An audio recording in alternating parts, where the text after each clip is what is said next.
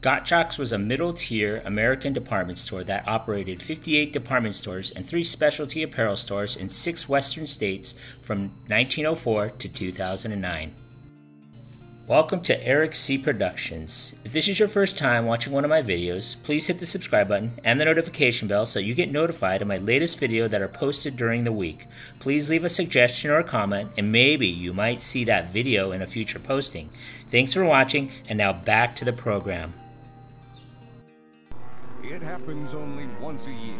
Extra savings during Big G Days at Gottschalk's. Save 30% on two-piece soft dressing from Corette for Mrs. Empatisse.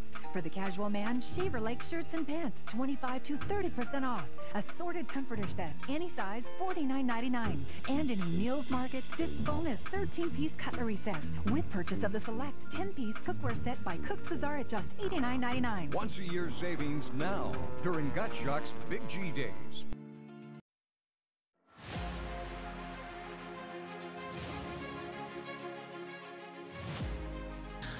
Gottschalk's was founded by a German Jewish immigrant named Emil Gottschalk in 1904 as a dry goods store in downtown Fresno, California.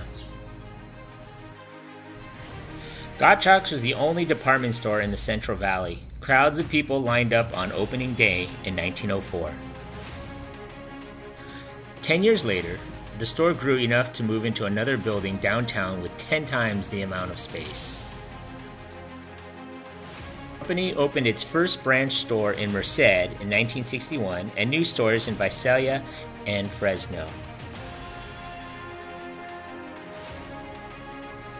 In a strategy to win over teenage baby boomers, Gottschalk's launched Bobby West, a chain of junior apparel stores in the late 1960s.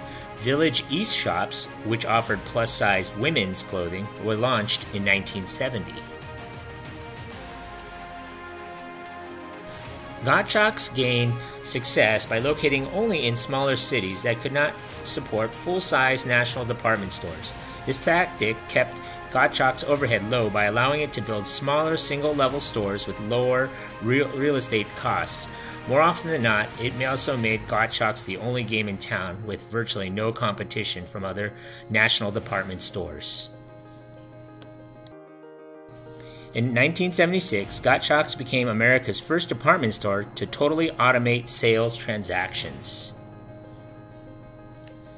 The company installed electronic point of sale wands that read barcodes and store credit cards. This technology helped increase efficiency, reduce errors, and keep inventory and customer billing up to date.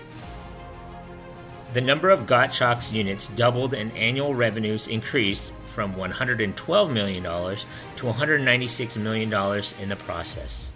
In 1987, they acquired Brock's two stores and 500 employees, and in 1988, the acquisition of Samuel Liesk and Sons chains added three stores and 150 employees.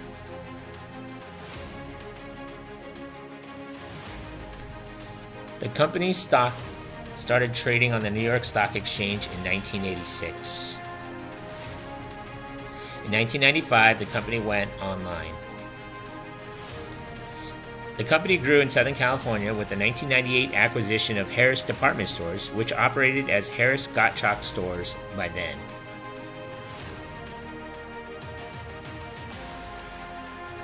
In 2000, the Seattle based department store Lamont's was acquired. Most of Lamont's locations that were acquired by Gottschalk's eventually closed due to poor sales. On October 24, 2008, Gottschalk's was delisted from the New York Stock Exchange. Officials stated that the value of the stock was too low to continue to be listed and that its average global market capitalization had remained below $25 million for 30 straight trading days. Company officials claimed to be negotiating a deal for a loan with a Chinese company called Everbright Development Overseas Limited. They also stated that they could appeal the delisting decision. On December 18, 2008, Gottschalk's officials announced that Everbright had pulled out of the deal. On January 14, 2009, Gottschalk's filed for Chapter 11 bankruptcy. In March 2009, Gottschalk's announced it lined up a group of bidders that would liquidate the chain if no other bidder was found by March 30th. On March 31st, 2009. And now, Project Economy coverage and a major retailer, Gottschalks, is the latest casualty of the sagging economy, going out of business and taking local jobs and sales tax dollars with it. Today, the news came, came down that Gottschalks will be liquidated. The company filed for bankruptcy in January, and a group of liquidators bought it at auction. Santa Cruz County has two Gottschalk stores, one at the Capitola Mall, the other in Watsonville. Shoppers heading into Gottschalk stores in Capitola and in downtown Watsonville heard the news of the department store's liquidation. It's the last big department store that it's the, one of the first ones that Santa Cruz had, and it's an important one. It's a good place for us to shop. My father's been shopping here as long as it's he's 87 and Watsonville has seen its fair share of stores closing shop. Gottschalks has been the anchor for downtown business the past 14 years. They'll be gone by July. After a closed door auction in bankruptcy court in Delaware, Gottschalks liquidation will be handled by the same group that did Mervyn's in Circuit City. For many consumers, the question is who's next? The chain's final stores closed July 12th in 2009. Several prime locations became Macy's or Forever 21. There were plans by former CEO Joe Levy to reopen some of the stores by early 2000, but those plans ultimately fell through. Hey, you just watched my video. Thanks for watching. Hit that like button and please subscribe to Eric C. Productions.